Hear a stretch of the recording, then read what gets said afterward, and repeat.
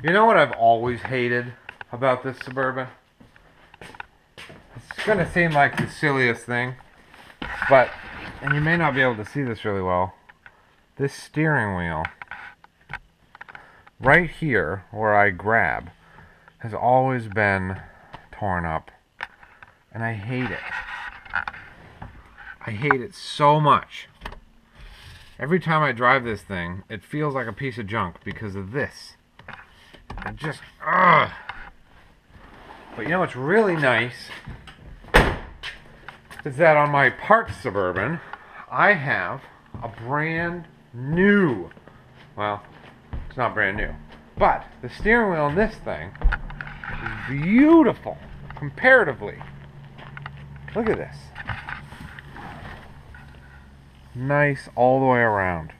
Could use some cleaning. So I've taken the airbag off. Um, to do that, if you turn the steering wheel like this, it'll give you access to these two things. And if you push on the back side with a screwdriver, the airbag will pop off.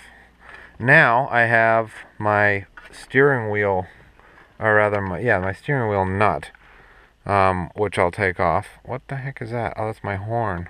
Oh, that's cool. I don't know how that works. I guess it's just a little tiny switch. Obviously the horn doesn't work on this. So I'll get my steering wheel puller mounted in here and take this off. First I gotta take this off which looks like 22 millimeter.